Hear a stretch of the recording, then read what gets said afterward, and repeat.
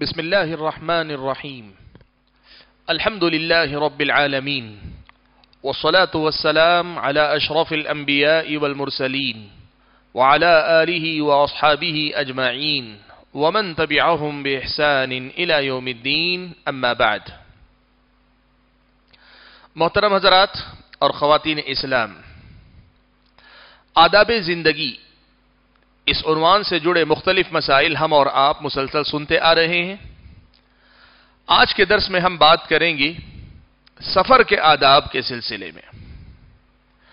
अल्लाह तबारक ने इंसानी ज़िंदगी की बहुत सारी जरूरियात ऐसी रखी हैं कि इंसान सभी नहीं तो अक्सर सफ़र के मोहताज हैं। उन्हें एक जगह से दूसरी जगह आना जाना पड़ता है। अपनी तिजारतों के सिलसिले में हो, या अपने दीगर मामलात के सिलसिले में, सफ़र इंसानी ज़िंदगी के मसाइल में से एक अहम मसला है। इस्लामी शरीयत मुसाफिर को भी ये बात सिखाती है कि मुसाफिर को भी चाहिए कि कुछ आदाब का वो ख्याल रखे।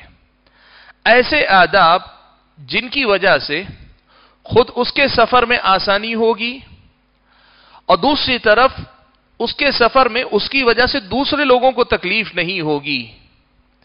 और तीसरी तरफ़, इंसान सफ़र करने वाला इन आदाब का ख्याल रखे तो सफ़र में जो खदशात और खतरात हो सकते हैं, अल्लाह ना करे अगर ऐसा कुछ होगा तो इसका नुकसान नहीं होगा या कम से कम होगा। ऐसे आदाब इस्लामी शरीयत ने हम और आपको सिखलाए, बतलाए हैं। तो इस्लाम ने जो आदाब मुसाफिर को सिखाए हैं, उन आदाब में से कुछ आदाब आज हम आपके सामने ज़िक्र कर रहे हैं। सबसे पहला अदब यह है कि यह मुस्तहब है कि अगर आदमी को कोई लंबा सफ़र दरपेश हो तो आदमी को चाहिए कि इस्तिखारा करे। इस्तिखारा क्यों किया जाता है? इस्तिखारा का मतलब होता है खैर तलब करना। खैर चाहना, अच्छाई चाहना, अच्छाई मांगना। इस्तिखारा दरअसल फ़र्ज़ नमाज़ के अलावा कोई भी नमाज़, चाहे सुन्नत हो या नफिल, दो रकात नमाज़ पढ़कर दुआए इस्तिखारा पढ़ने का नाम है। और जब बंदा ऐसे इस्तिखारा करके सफ़र का इरादा करता है तो फिर उसका फ़ायदा क्या होता है? लोग हमेशा ये समझते हैं कि इस्तिखारा इसलिए होना चाहिए कि मैं फुला काम करूँ कि ना करूँ। यानी मैं ये सफ़र करूँ कि ना करूँ। नहीं, ऐसा ज़रूरी नहीं है। इस्तिखारा का मतलब ही यह होता है कि आदमी खैर तलब करता है तो जब इस्तारा करके वह सफ़र पर निकलेगा, अगर वह सफ़र उसके हक में बेहतर नहीं होगा, अल्लाह ताला उसे वापस लौटा देगा। या अल्लाह तबारक ताला उसके हक में सफ़र को बेहतर रखेगा, लेकिन सफ़र में जो शर है उस शर को फेर देगा और वहाँ अल्लाह ताला खैर लेकर आएगा। बहरहाल, आदमी को चाहिए कि सफ़र के लिए आदमी इस्तिखारा करे। एक अदब है जिसका हम और आपको लिहाज रखना चाहिए। प्यारे नबी सल्लल्लाहु अलैहि वसल्लम से यह बात मरवी है कि नबी अलैहिस्सलाम सहाबा को हर छोटे बड़े काम में इस्तिखारा करने की तरगीब दिलाया करते थे। आप सल्लल्लाहु अलैहि वसल्लम इस्तिखारा करने की तरगीब देते थे, चाहे कोई भी मामला हो। और सफ़र तो बहरहाल एक बहुत बड़ा मसला है आदमी को। अगर कोई लंबा सफ़र है, कहीं बाकायदा आदमी रखते सफ़र बाँध कर जा रहा है तो फिर उसे एहतमाम करना चाहिए। यह पहला अदब है जिसका आदमी को ख्याल रखना चाहिए। दूसरा अदब यह है कि आदमी सफ़र पे जा रहा है, खास तौर पे लंबे सफ़र, बड़े सफ़र आदमी के हैं। जैसे हमारे यहाँ हम देखते हैं कि आमतौर पर आदमी को हज का सफ़र दरपेश होता है। बड़ा सफ़र हम समझते हैं।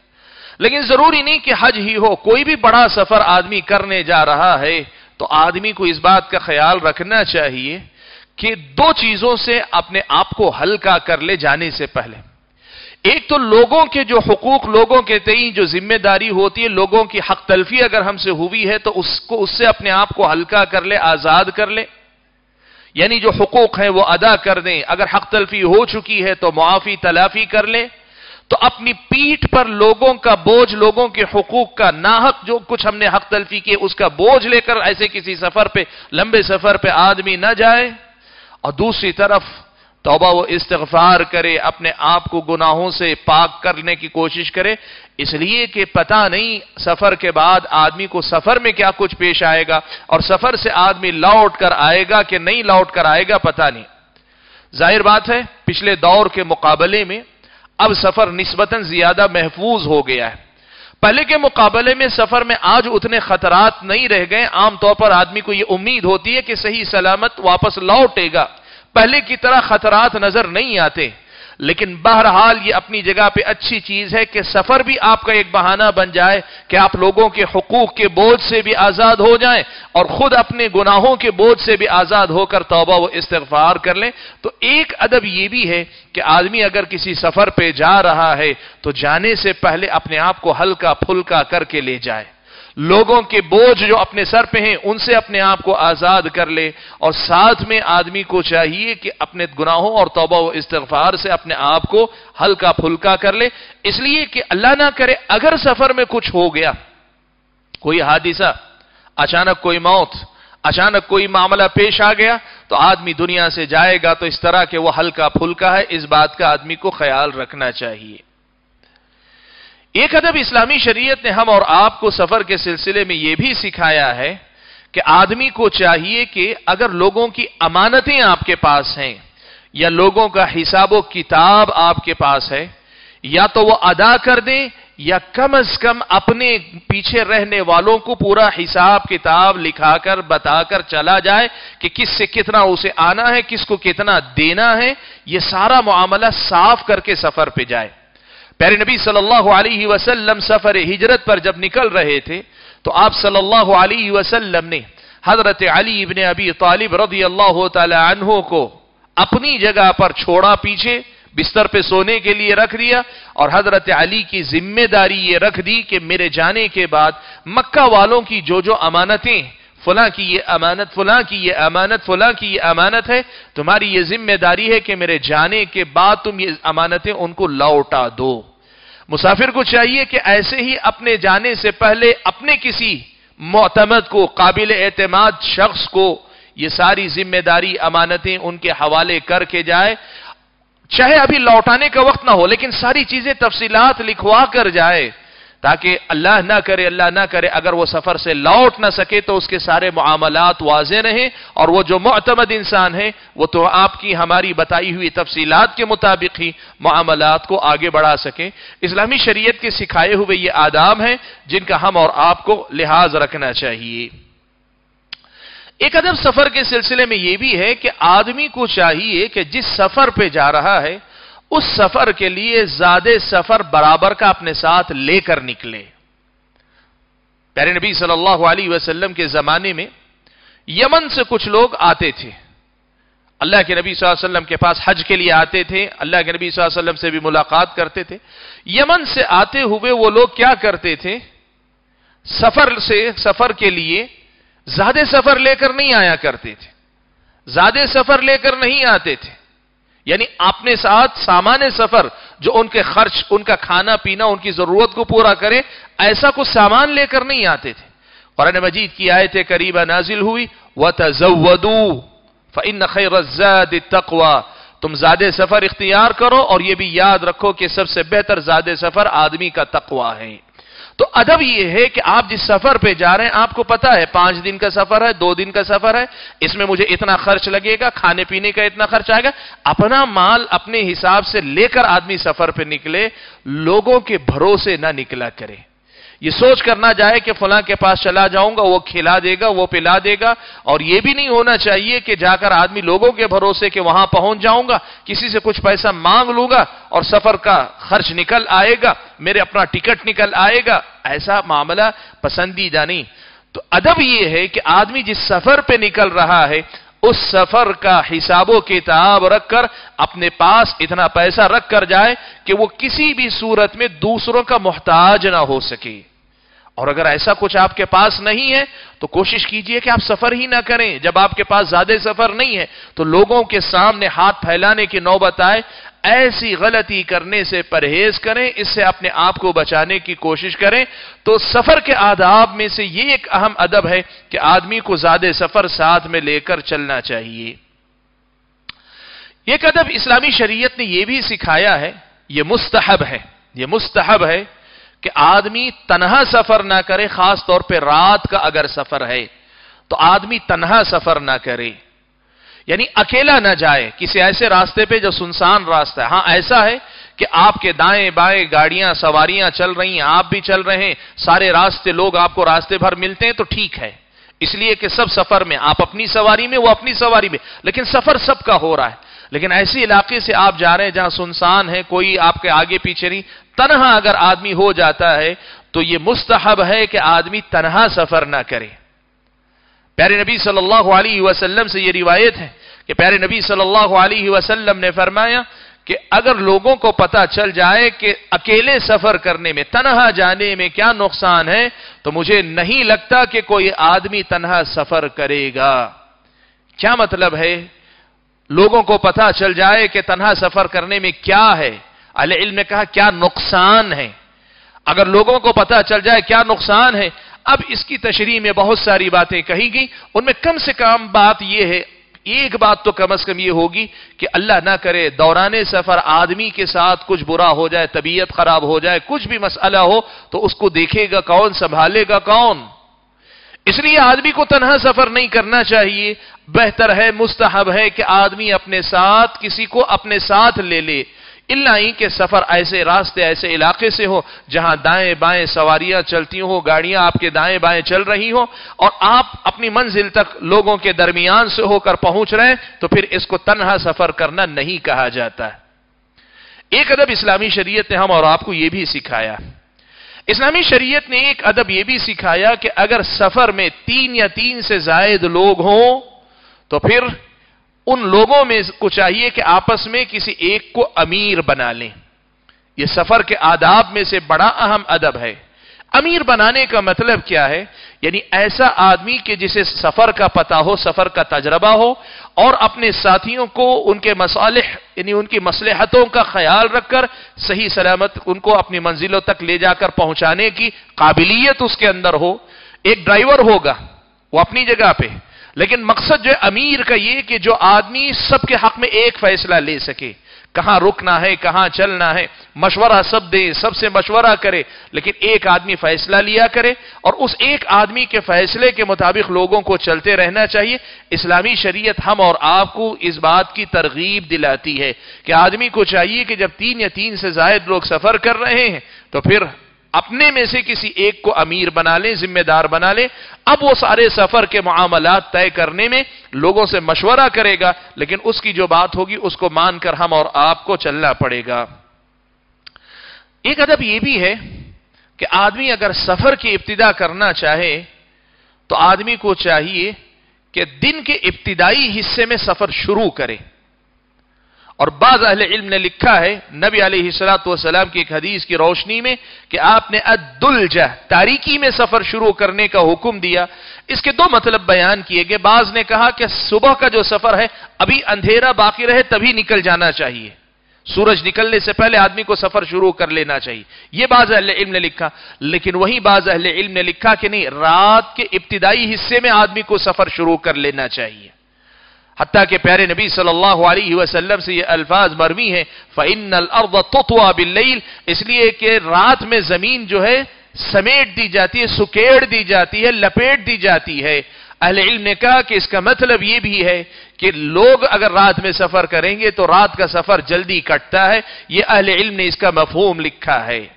तो बताने का मकसद यह है कि आदमी को चाहिए कि दिन के इब्तदाई हिस्से में बिल्कुल सफ़र शुरू करे या रात के इब्तिदाई हिस्से में सफ़र की शुरुआत करे। ये दोनों औकात सफ़र शुरू करने के लिए मुस्तहब औकात में से हैं। ये अहले इल्म ने लिखा है।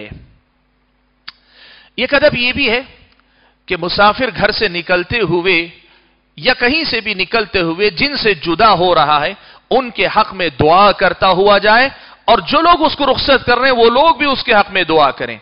प्यारे नबी सल्लल्लाहु अलैहि वसल्लम ने यह दुआ सिखलाई कि मुसाफिर अपने पीछे जिनको छोड़ रहा है, उसके घर के लोग या उसके मेहमान मेजबान किसी को भी, उनसे रुख्सत होते हुए यह दुआ करे अस्तउद्दुकुमुल्लाह मैं तुम्हें अल्लाह तबारक ताला की हिफ्ज अमान में देता हूँ कि जिसकी हिफ्ज अमान में रखी गई चीज़ जाए नहीं होती।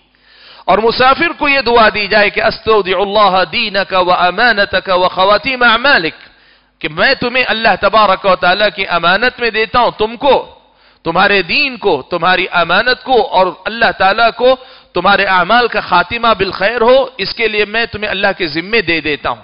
ये दोनों दुआएँ मुसाफिर मुकीम को, यानी जिससे रुखसत हो रहा है, उसको और मुकीम मुसाफिर को दुआ दे, ये आदाब सफ़र में से बड़ा अहम अदब है। इसका भी हम और आपको ख्याल रखना चाहिए। एक अदब यह भी है कि आदमी को सफ़र की दुआ और सवारी की दुआ, ये दोनों की दोनों दुआओं का एहतमाम करना चाहिए। सवारी की दुआ आप सफ़र में हो, ना हो, हर हाल में आप सवारी पर बैठे तो दुआ पढ़ना चाहिए। सुबहान अल्लादी सखर ये जो दुआ है, ये दुआ आपको पढ़नी चाहिए। ये सवारी की दुआ। और एक है सफ़र की दुआ। अल्लाह के नबी सल्लल्लाहु अलैहि वसल्लम सवारी पर बैठते, तीन मरतबा अल्लाह अकबर कहते, फिर उसके बाद सफ़र की दुआ पढ़ा करते। तो आदमी को सफ़र की दुआ का भी एहतमाम करना चाहिए, ये सवारी की दुआ के साथ। तो ये दोनों की दोनों दुआएँ आदमी को पढ़नी चाहिए। अलबत्त इसमें एक चीज़ का ख्याल रखें। कई बार ऐसा होता है कि सफ़र की, इब्तिदा में हमने सफ़र की दुआ पढ़ ली। दरमियान में किसी ज़रूरत के लिए हमने सवारी रोकी, सवारी से उतर गए। दोबारा अब हम सवार हो रहे हैं तो क्या करना चाहिए? सही मसला यह है कि अब यहाँ सफ़र की दुआ पढ़ने की ज़रूरत नहीं, इसलिए कि आप पहले पढ़ चुके हैं, वो सफ़र अभी जारी है आपका। अलबत्ता सवारी की दुआ, जब भी आप उतर कर सवारी पे दुआर दोबारा सवार हो तो सवारी की दुआ आपको पढ़ना चाहिए। यह अदब भी इस्लामी शरीयत ने हम और आपको सिखलाया है। एक अदब यह भी है, इस्लामी शरीयत ने हम और आपको यह दुआ सिखलाई है। नबी अली सलाम के सफ़र में सहाबा का यह मामूल था। अल्लाह के नबी वसल्लम का यह मामूल था कि आप जब भी किसी ऊंचाई पे चढ़ते तो अल्लाह अकबर कहते। यानी किसी ऊंचाई पे चढ़ने का मौका होता, अल्लाह अकबर कहते। और जब ढलान में उतरने का मौका होता तो अल्लाह के नबी वसल्लम सुबहान अल्लाह कहते। तो यह भी सुन्नत है कि अल्लाह के नबी, अल्लाह तबारक की अजमत और बड़ाई ऐसे बयान की जाती रहे। यह भी सफ़र का एक अदब है। सफ़र का एक अदब यह भी है कि आदमी अगर दौरान सफ़र क्याम करे तो रास्ते पर क्याम ना करे, रात में अगर रुक रहा है किसी काम के लिए या आराम करने के लिए सफ़र के में रुक रहा है तो रास्ते पर न रुके। पुराने जमाने में नबी अली सलाम ने इसकी इल्लत एक बयान फरमाई। आप सल्लल्लाहु अलैहि वसल्लम ने फरमाया कि जब तुम रात में क्याम करो तो सड़क के किनारे चले जाओ, सड़क पर ना करो। इसलिए कि यह सड़क दिन में तुम्हारे लिए है तो रात में कीड़े मकोड़ों और ज़मीन के जो हशरात होते हैं, उनके लिए है। यानी, दिन में इंसान चलते फिरते हैं, इंसानों का हक रास्तों पे है। रातों में कीड़े मकोड़े, दुख दूसरे किस्म के हशरात, वो अपनी गजा की तलाश में रास्तों पर आते हैं, उनको छोड़ दो। और अहल इल्म ने लिखा उसका मतलब यह भी है कि सफ़र पे अगर आदमी सफ़र के दौरान रास्ते पर क्याम करेगा तो वो जो कीड़े मकोड़े, वो हशरात आते हैं, वो मोजी जानवर निकल के आते हैं, हो सकता है इंसान को डसले नुकसान पहुँचा दें। ये भी मुमकिन है। अदब यह है कि आदमी सफ़र के दौरान उस रास्ते पर न रोके, रास्ते पे न रोके, क्याम ना करे, किनारे चला जाए, थोड़ा सा हटकर किसी किनारे, ऐसे कि वो रास्ते से हटकर लगे। नए जमाने के अंदर भी ये बात, ये तालीम अपनी जगह पे अपनी मानवीयत रखती है। वो कैसे? आपको पता है, रातों के अंदर, रात के वक्त जो एक्सीडेंट होते हैं, हादिसात होते हैं, उनकी एक बड़ी वजह, रात के अंधेरे में सड़क के किनारे अपनी गाड़ियाँ रोकने वाले लोग होते हैं। अक्सर ऐसा होता है कि आने वाले पीछे से बहुत सारे अंधेरे में आके इनसे टकरा जाते हैं तो जो अदब अल्लाह के नबी ने पुराने जमाने में सिखलाया था नौयत बदली है, लेकिन आज भी उसकी हिकमत और उसके फ़ायदे बरकरार हैं। आदमी को चाहिए कि इसका ख्याल रखे कि सफ़र में रास्ते पर क्याम ना करें। किसी पेट्रोल पंप पे रोक ले, या फिर किसी जरा खुली मैदान जहाँ मिले, वहाँ किनारे निकल कर चले जाएँ। और आज तो जब हाईवेज बने हुए हैं तो ले बाइक के नाम से बाकायदा हर कुछ मील पर, हर कुछ फासिले पर, रास्ते से, मेन रास्ते से हटकर एक रास्ते क्या निकाला होता है, जहाँ आप अपनी गाड़ियाँ पार कर सकते हैं, रोक सकते हैं, इनका फ़ायदा उठाइए। इस्लामी शरीयत का सिखाया हुआ यह अदब है कि हम और आप सफ़र करते हुए रास्ते पर क्याम न किया करें। एक अदब यह भी है, इस्लामी शरीयत हम और आपको यह सिखाती है कि जब किसी मकसद से हम सफ़र कर रहे हैं सफ़र के अंदर जो मकसद था वो पूरा होता है तो आदमी को चाहिए कि अलल फौर वापस अपने घर लौट आए। नबी सलाम ने फरमाया फ़ैदा कदा अहदुकुम नहमतहु इला अल्लाह के नबी सल्लल्लाहु अलैहि वसल्लम ने फरमाया कि सफ़र से जो तुम्हारा मकसद है, अगर वो पूरा हो जाता है तो फ़ौरन अपने घर लौट कर आओ, ये अल्लाह के नबी वसल्लम ने हुक्म दिया। एक अदब यह भी है कि रात में अगर आप पहुँच रहे हैं तो बेहतर यह है कि रात के इब्तदाई हिस्से में आए तो आप घर में दाखिल ना हो। अहले इल्म ने लिखा है कि यह उस सूरत में है जब पता ना चले कि आप रात में पहुँचने वाले। लेकिन नए जमाने में अगर आप पहुँचने वाले, पहले से पता है, पुराना जमाना था, लोग काफिलों की शक्ल में आते थे तो अल्लाह के नबी वसल्लम चाहते थे कि रुक जाएँ ताकि घर की खातन अपने आप को संवार लें, पाकि हासिल कर लें, तैयार हो जाएँ और मर्दों का इस्तकबाल अच्छी तरह से करें। रात में अचानक जाकर घर वालों को ऐसे सामना करना कि उनको पता नहीं तो नहीं, अचानक घर वाले सामने हैं यह तरीका सही नहीं है। लेकिन नए जमाने में अल्लाह ने जो वसाइल दिए हैं, इन वसाइल के ज़रिए अगर आदमी पेशगी तिला दे देता है कि मैं रात में पहुँच रहा हूँ, इतने बजे तक, इतने वक्त तक पहुँच रहा हूँ तो अल इल्म लिखा है कि ऐसा करना दुरुस्त है।